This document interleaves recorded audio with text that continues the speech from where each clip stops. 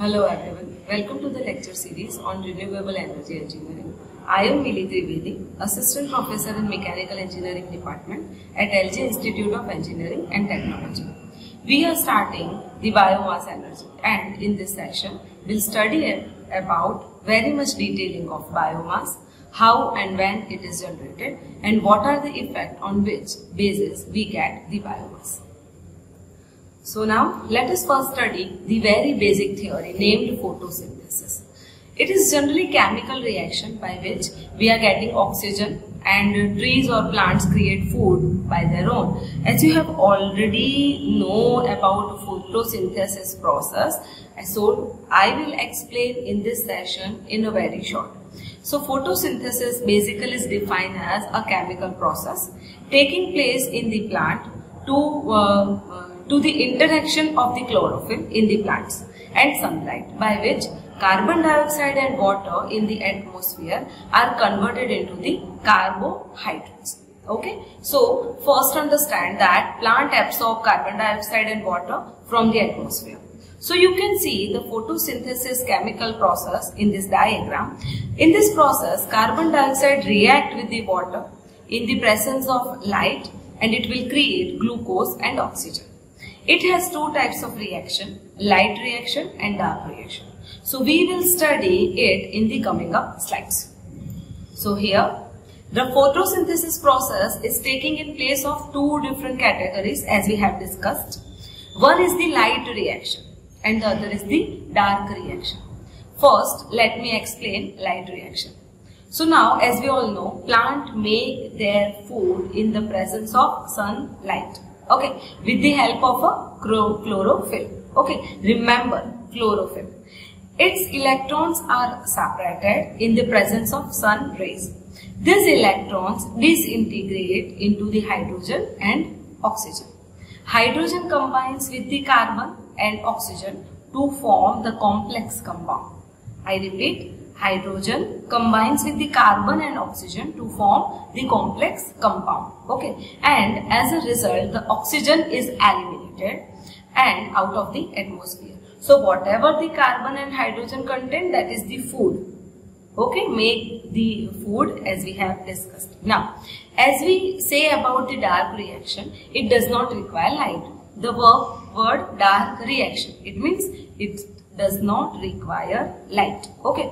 In this plant, it absorbs carbon dioxide through the leaves and creates such in the form of complex carbohydrate. Okay. These both processes you can see in our diagrams. Okay. Now, there are some factors affecting the photosynthesis process. You can assume it like uh, sunlight, then temperature, oxygen, carbon dioxide as well as water. So now as we know during the photosynthesis process the plant require sunlight. Okay, this light reflect some radiations but it should be of a specific value or specific wavelength. If intensity of solar radiation increases, the process of photosynthesis decreases. Okay, because the chlorophyll in the plants may, may damage with the higher radiation or higher intensity radiations. Now as we talk about the temperature, which is also very very effective factor, the process of photosynthesis is slowed down more than 50 percentage of enzymes in the plants because inactive at a higher temperature like during the mid uh, during the summer process or during the uh, the noon time the process of the photosynthesis will reduce because of the higher radiation values. Okay. Now, as you know, yes, oxygen. Oxygen is also very, very important factor. Oxygen in the atmosphere is an important parameter. You have to understand this. Or excess oxygen in the atmosphere retard the process of photosynthesis. So, it requires proper oxygen and you know nearly 27 percentage of oxygen is required now, carbon dioxide, as we know, it is the raw material for the photosynthesis process. Nearly 3% of the carbon dioxide is only required. Okay, but if the value increases, the process is also slowed down. okay, it will only take 3% of carbon dioxide. So you have to remember this. And finally water which is also very very necessary. If sufficient water is not provided or available in the plants, the photosynthesis process does not take place and the plants get dried up. Now, let us understand uh, what is known as energy plant. Now as the word suggests, we are getting energy from the. Okay, so the plants which are not useful in any other ways except to be used as a fuel are known as energy plants. Means they are specially cultivated as an alternative source of energy. Okay, now it has two categories rapid growing plants and oil yielding plants. They are basically two rapid growing. It means which can uh, grow rapidly and oil yielding plants. So by which we are getting oil. Okay. Now, they uh, generally uh, are rapid growing plants are along the rivers, nearby lakes, in the lake and seas. So they grow in the water basically, uh, cut and dried as a biomass, used as a biomass, like seaweed, alga, giant Californian kelp, etc.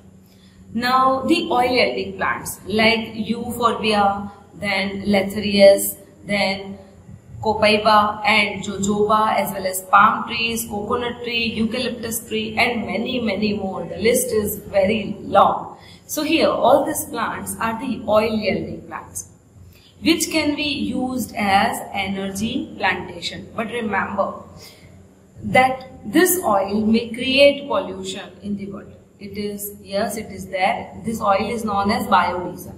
Uh, yes it is a cheaper substance of the diesel but i think it may take time for the proper processing and modification.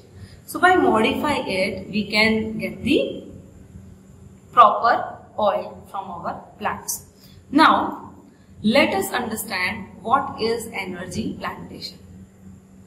So here we have to plant fast growing plants by systematic and scientific approach. Okay? In the larger areas for the purpose of harvesting the wood for the energy. This is known as energy plantation. It actually collects solar energy yields the renewable of energy in the form of fuel wood. But remember it will also give us the oxygen so that our forest may grow many more times. Many more times than right now it is very useful. It gives leaves, wood and other forest products. Now deforestation is continuously taking place as increasing number of people are using fuel as a wood, uh, sorry uh, wood as a fuel and source of domestic as a source of domestic energy and wood, wood is also used for making furniture building construction paper making and other industrial applications so as you can understand, the energy plantation is very, very important for this earth and environment also. So let us check more advantages for the same. So first of all, wood available from the energy plant is used as domestic fuel. We can directly use it. Energy plantation helps in maintaining the economic, ecological balance. It means we can reduce the carbon dioxide, we can increase the oxygen and so lots more. Energy plantation provides renewable energy source. Energy plantations keeps atmosphere pollution free and clean. Then energy plantation can be done at nearly where there is a need of renewable energy sources. Energy plantation is also provide other forest products such as fruits, gums, honey, etc. Biomass energy can be obtained from the energy plantation so whatever are the most important factor for the uh, tree plantation, it is just the similar for this energy plantation. Now firewoods production increases due to energy plantation. Natural oil is available uh, for the specific plants such as jojoba. And energy plantation provide raw material for soap, shampoo, car polish, shoe polish and packing material in paper making industries. So as you know, uh, plantation, energy plantation gives us only and only advantages. Okay, it doesn't give us any disadvantage of the similar because ultimately it will clean our environment.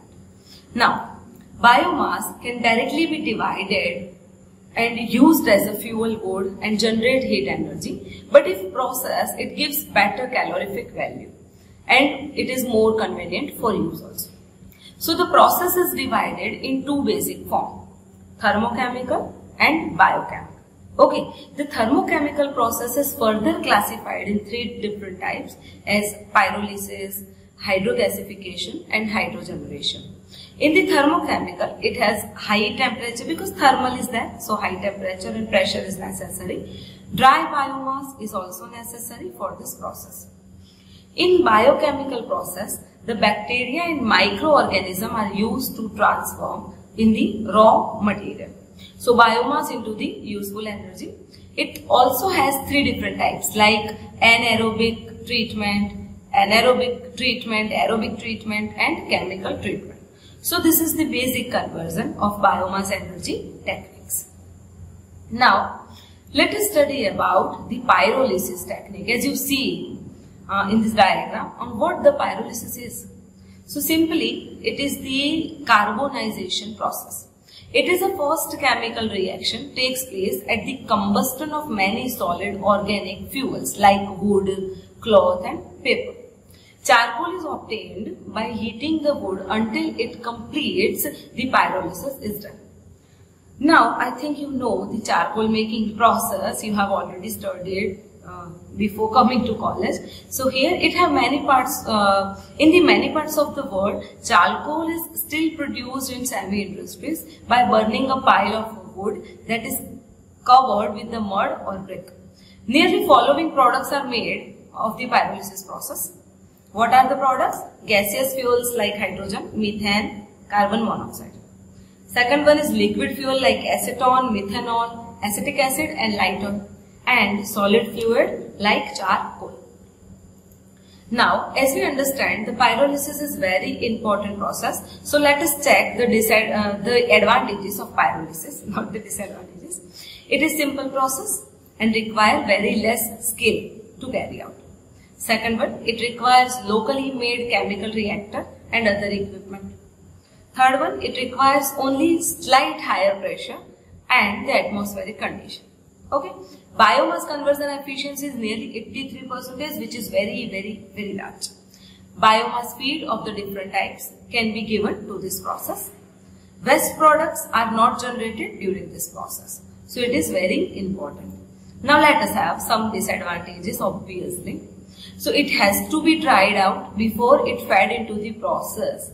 So we have to dry it out. So for the drying up, we can use the solar still process. Now it requires cleaning solar dryers. We can use solar dryers. Now it requires cleaning and filtering of oil produced during the process of pyrolysis. Now why it is required? Because it has any vegetable, any plant contain more and more water.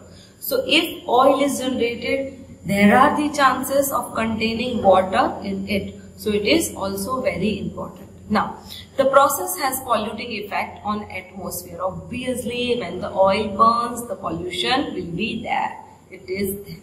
And the equipment and vessels used in pyrolysis get corroded and rusted. Okay. So, students, Thank you all of you for watching this video. If you have any query, you can contact me. This is the very much basic understanding of pyrolysis. Okay, thank you.